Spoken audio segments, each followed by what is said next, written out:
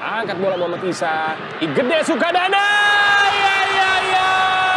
Igede Sukadana mencetak gol keduanya bagi Gresik United melalui sepakan yang sangat-sangat berkelas. Pemanfaat